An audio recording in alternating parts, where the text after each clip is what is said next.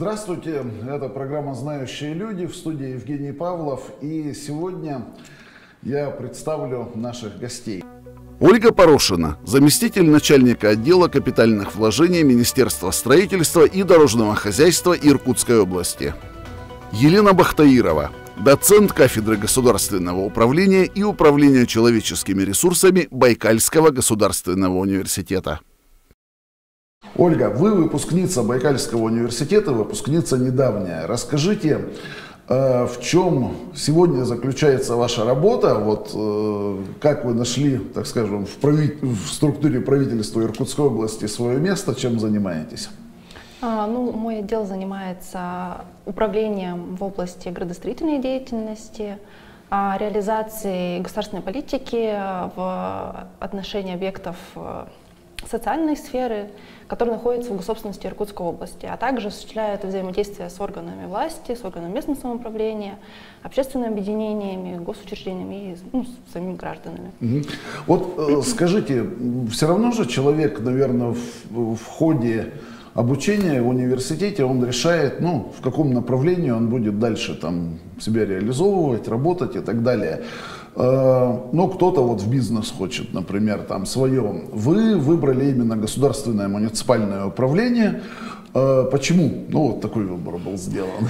Вопрос интересный. Э, на удивление, после получения диплома я пошла сразу в коммерцию. Ну, так получилось, что позвали. Решила попробовать. Думаю, интересно, я закончила госуправление, попробую себя в коммерции.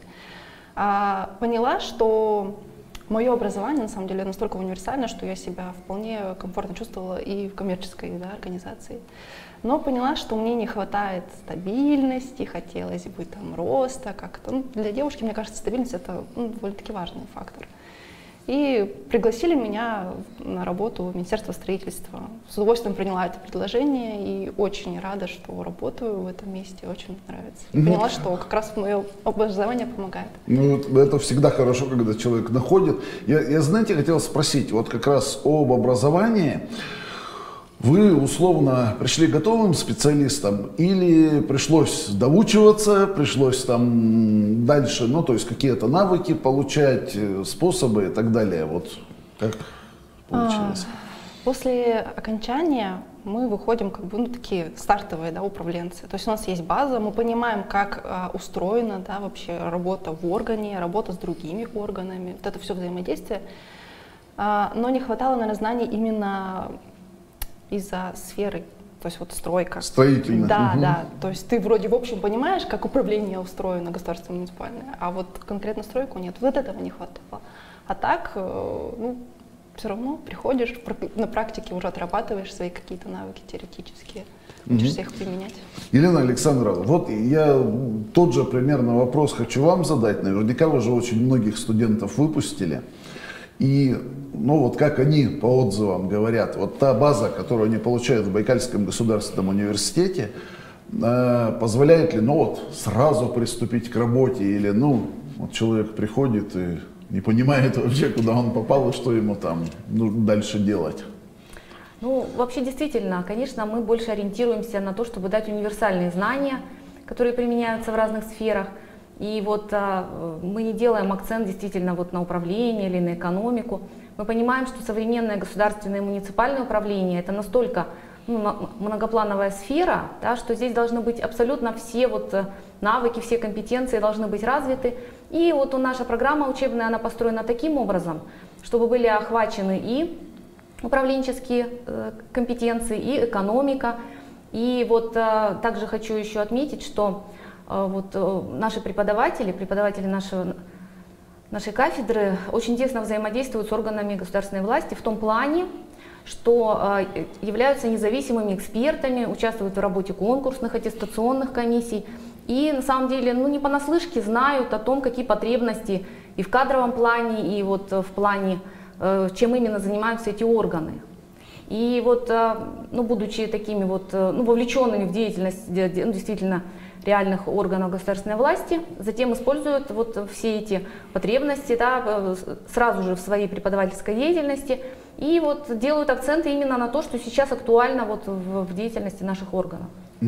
Я, знаете, хотел спросить, есть ли какой-то перечень ну, выпускников, которые вот прямо прямо молодцы у вас, которые каких-то должностей добились, или о которых можно сказать, о, вот его-то я учила, ну там можно гордиться.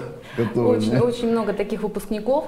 На самом деле, вот, э, знаете, когда вот студенты учатся у нас в институте, пока они еще вот получают обучение, образование, они уходят на практику, они приходят, да, очень часто так бывает, что они сходят на практику, приходят и говорят, ой, мы думали, будет по-другому, да, вот как мы найдем или, или, или не найдем свое место. Вот сейчас вот буквально недавно вспоминала, как вот мы с Олиным потоком об этом тоже разговаривали, да, с ребятами. И я тогда говорила, что все наши выпускники свое место находят. То есть все находят, все приходят, пусть не сразу, ну действительно, ну никто не ждет сразу же с дипломом, да, кого-то. А, чтобы но, его министром поставили, чтобы министром, да, да, да, но постепенно все равно люди находят себя, делают карьеру, и вот у нас есть сайт нашей специальности, и там у нас есть ну, галерея наших выпускников, очень много наших выпускников, и выпускников бакалавриата, и выпускников магистратуры, те, кто действительно вот сделал карьеру, и вплоть до того, что и в Москве есть наши, наши выпускники, и в министерствах, и, в общем, очень много людей. И угу. все нашли свое место. Вот это вот, конечно, вот факт есть факт. Ну, это главное, что человек да. не просто получил диплом и потом не знает, э, что с ним делать. Вот, э, Ольга Владимировна, я вас хотел спросить, э, из тех знаний, которые вы получали в процессе обучения, вот, ну, что самым ценным, наверное, считаете? Самым ценным? Ну, что больше всего пригодилось? Ну, мы говорим не про предмет. Ну, вот, вот как, как вам понравится? Может, не знаю, может, это внеучебная деятельность какая-нибудь была, а может, лекции, может, какой-то преподаватель, который больше всего дал. Вот э, ваше дело, что ответить сейчас. Но если касаемо учебы, то для меня, наверное, самым ценным это была практика. Попробовать свои какие-то полученные знания, да, применить на практике и понять вообще, где, допустим, я там что-то не дотянула, что мне не хватает, что подучить. А если брать а, внеучебную деятельность, которая, я считаю, что во многом помогает раскрыться человеку, потому что мы все равно после школы приходим, ну, такие нераскрытые, а, не понимаем, кто мы, что мы вообще, потому что нам специально все равно рекомендуют родители. И пока мы учимся, мы пробуем мое, не мое. И вот внеучебная деятельность помогает раскрыться. Ну вот вы чем занимались, кроме а, лекций? Кроме ну, конечно. А, на самом деле, как бы для себя я вела достаточно активную внеучебную деятельность. Мы пробовали организовывать различные мероприятия на уровне кафедры, на уровне, а, так скажем, как это обозвать-то? Института? Нет, не института. Раньше называли их, вот где несколько кафедр входит. Ну ладно, назовем это на три кафедры мы угу. делали, одно какое-то общее мероприятие.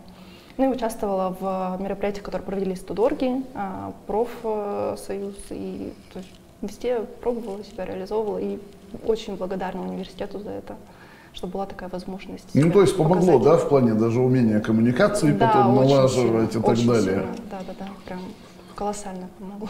Угу. Я тоже, вот, Елена Александровна, вас про это хотел спросить. Вот вы говорили про большую галерею успешных выпускников.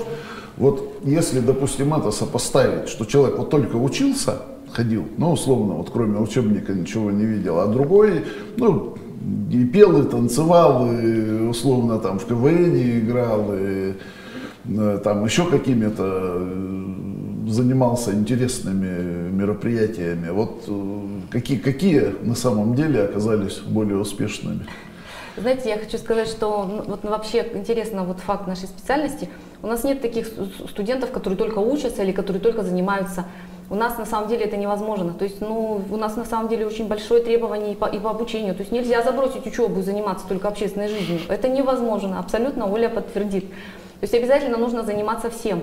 И они справляются, и у нас нет таких, кто только учебой кто-то занят, а кто-то занят только общественной жизнью. И вот а, сейчас, к сожалению, вот время пандемии, да, и у нас не всегда получается проводить такие вот какие-то мероприятия, но тем не менее, как только у нас возникает идея, вот у нас э, преподаватели кафедры всегда придумывают разные такие вот интересные мероприятий. Вот, э, вот в этом году, ну вот в этом текущем году, в 21-м, да, у нас, э, у, нас было, у нас был концерт, посвященный 9 мая. Это уже второй раз мы его сделали. И э, у нас, к сожалению, его не получилось провести в 2020 году, когда мы хотели его ну, к юбилейному году провести. Э, но когда только идея появилась на кафедре о том, чтобы провести это мероприятие, это, был, э, это курировала наш преподаватель Наталья Сергеевна Девятова, у нас в полном составе все группы, все, все вышли, все там приготовили номера, они сами все это сделали, понимаете, настолько вот, а, вот интересно им это все, ну, ребятам, то есть они сами друг друга как бы активизируют, и там нет вот чего-то, ну, то есть там идет движение постоянное, вот в группах постоянная там какая-то активность, работа, то есть никто там ну, не остается где-то в стороне, все взаимодействуют постоянно. Вот это вот тоже здесь у нас. Угу. Знаете, есть. у меня еще один вопрос. Вот сейчас есть такое мнение, что учиться надо вот всю жизнь. Да, вот. согласна с этим. Вы вот диплом получили, на этом остановились или есть какие-то планы, то есть э, как вот дальше? После бакалавриата сразу пошла в магистратуру. Сейчас перерыв. перерыв. Но если только вот э, в деятельности органа, ну, правда, мне не хватает каких-то знаний, и думаю, что отдохну, и все равно пойду дальше учиться, какие-то курсы Именно повышения квалификации. по строительной части, да? Чтобы а, да, себя... для работы это, я, я даже сказала, что это необходимо мне, но хочется, чтобы, как вот в университете была внеучебка, чтобы еще какое-то хобби было, и про это не надо забывать, потому что оно тоже помогает как-то. Ты лучше соображаешь на работе, когда отвлекаешься. Согласен. Вот я, я тоже, вот надо ли учиться всю жизнь? Вот ваше мнение. Конечно, надо. Тут даже речи быть не может о том, что мы получили образование и на основе этого образования живем. Дело в том, что вот наша сфера, государственное муниципальное управление, полностью уже ну, регламентируется правовыми актами. А правовые акты которые это, меняются постоянно. Это живой организм, они, они, они, они же меняются ну, не потому, что это чья-то прихоть, а потому что меняется наша жизнь, Естественно, что в ответ на эти изменения меняется и правовое поле, и, соответственно, меняются учебные программы, и, соответственно, все вот эти вот проекты новые, да, которые и госпрограммы, и все вот это вот, все это происходит. И, ну, конечно, нужно учиться. Еще у меня, знаете, такой э, вопрос, это связь с альма-матер. Ну, то есть, условно, вот вы закончили, поддерживаете ли с преподавателями, еще с кем-то связь с университетом? А, да, поддерживаем, стараемся как-то общаться. Может, сейчас это не сильно ярко выражено, но все равно интересно э, просто даже порой повидаться со своими преподавателями, поделиться каким-то мнением, опытом. Все равно мы работаем там, да, мы видим это с другой стороны, и нам интересно мнение наших преподавателей. А, и чтобы они нам что-то посоветовали, то есть как они видят. Что это две точки э, зрения разные. У меня тот же вопрос, часто, часто ли общаетесь с выпускниками, насколько вот эта связь хорошая, помогает ли она, может быть, каким-то образом или скорректировать, или улучшить образовательный процесс. Ну, то есть они, например, приходят и говорят, знаете, Елена Александровна, а я вот, вот этого-то не постиг, например, в процессе обучения. Может, вы это тоже будете на лекциях? Есть такие нет. моменты или нет? Или, или они на все готовые приходят? Я с таким абсолютно никогда не сталкивалась. Я скорее mm-hmm. сталкивалась с другим. Вот с такими формулировками, что вот Елена Александровна, мы когда у вас учились, думали, да мне это никогда не пригодится, а когда мы пришли на работу, оказалось, что нам только это и пригодилось. Ну, в общем, ну, не скажем, что только это, но это, в общем, пригодилось и даже очень. Вот это, это скорее, То да. Есть, а, им... И вот в плане нашего взаимодействия кафедры с нашими выпускниками я бы здесь отметила, что наши выпускники, они идут потом на госслужбу, и когда им, им нужны э, ну, молодые сотрудники, они обращаются именно на нашу кафедру. Они обращаются, ну, в первую очередь, к своим руководителям ну, по дипломной работе, да, они обращаются просто на кафедру, они приходят и говорят, вот нам нужны молодые э, выпускники, и, в общем, наши выпускники, когда вот они идут на практику, очень многие потом остаются там работать. И э, вот у нас э, тоже такая практика существует и на нашей специальности, вообще в нашем университете, что у нас нет какой-то одной практики, что студент сходил там, что-то он понял мое, не мое, там, может, разочаровался или что-то еще. У нас есть несколько практик. И вот он, э, наши студенты один раз идут на практику, они сначала ознакомительная, такая учебная практика, и она действительно учебная, то есть они действительно там первый раз видят что-то. И потом уже, когда второй раз они идут на практику, они уже более осознанно, более осмысленно идут и уже вот пишут потом на основе этой практики выпускные работы. Эти выпускные работы очень хорошие такие предложения. Вот у нас а, ну, в нашей э, государственной аттестационной комиссии председатель это Зоя Андреевна Масловская, она, она, она, она президент нашей ассоциации мэров, и она каждый раз, вот она просто, вот э, Оля, да, это было, она говорит, ну настолько проекты живые, что вот их можно брать и просто вот брать и внедрять. И вот, э, ну, потому что это факт, да, потому что все в ногу со временем и в, в, в ответ на, на запросы нашей сегодняшней жизни. Знаете, вот я хотел спросить, Ольга об этом говорила уже, то есть условно, вы готовите управленца, но даже если это для госорганов управленец, то там широчайшее поле деятельности. То есть есть Министерство строительства, есть Министерство культуры, например, или Министерство спорта, или э, экономики. Ну, то есть это абсолютно разные вещи. Ну, и то есть вот так вот, если подумать, ну, как можно вот для любого из этих подразделений подготовить человека?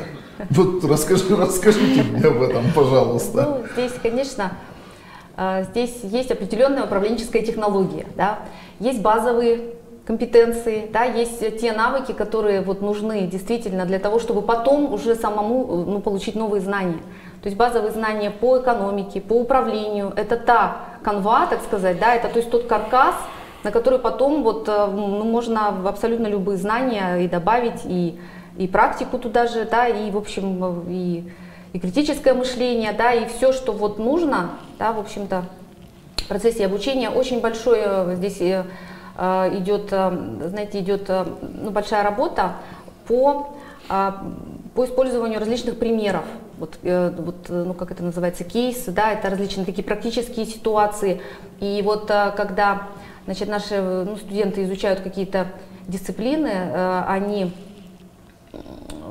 ну, действительно реализуют какие-то реальные управленческие ну, технологии, которые, ну, потом, э, ну, которые на самом деле ну, реализуются в органах власти. В частности, например, у нас есть такая ну, деловая игра, которая проходит на третьем курсе, это выбор мэра. То есть полностью вся вот это вот, весь этот процесс выборов мэра, они весь его проходят от и до.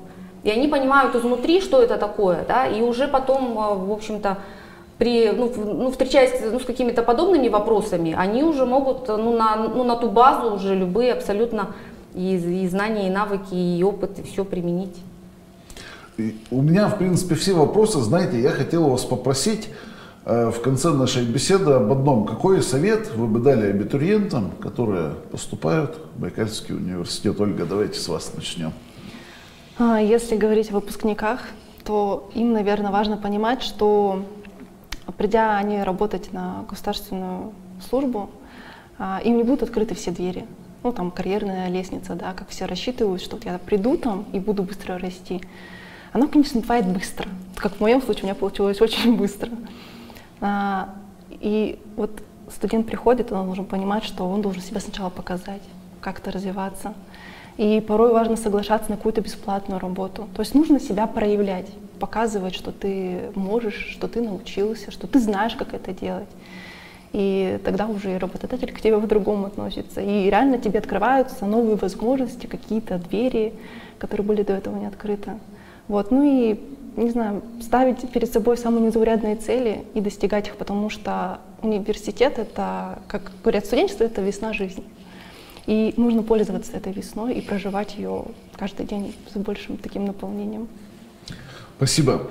Э, Елена Александрова, то же самое, ваш совет абитуриентам. Мой совет абитуриентам, ну я, будучи уже мамой взрослых, одного сына взрослого и второй подрастает, я вам хочу сказать, ну хочу сказать нашим, нашей молодежи, в первую очередь, конечно, нужно ну, думать о том, что интересно, да, то есть нужно вот, э, э, ну, пока учится в школе, да, все равно вот какой-то круг интересов а, он есть у человека, да, но поскольку еще, может быть, ну не до конца определились, да, ну я, конечно, буду всех звать к нам учиться, да, потому что действительно наша, наша специальность, она дает э, такой старт, дает базу, и это универсальное образование и в госслужбе, и в бизнесе, и, в общем, ну, в любой, ну, абсолютно в любой сфере человек может найти себя. И наши выпускники действительно многие делают карьеру в бизнесе, и на госслужбе, и в муниципальном управлении. То есть э, Здесь главное, когда вы выбираете специальность, э, школьники, да, здесь главное, э, чтобы у вас была хорошая база.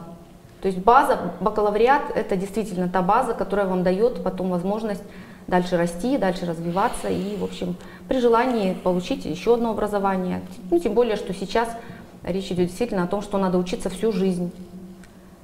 Это наш, наш день сегодняшний. Ясно. Большое спасибо за ваши ответы, за то, что нашли время прийти в эту студию. Я напомню, сегодня гостями у нас были Ольга Порошина, заместитель начальника отдела капитальных вложений Министерства строительства Иркутской области и доцент кафедры госуправления и управления человеческими ресурсами Елена Бахтаирова. Спасибо. Спасибо вам. Я на этом Спасибо. с вами прощаюсь.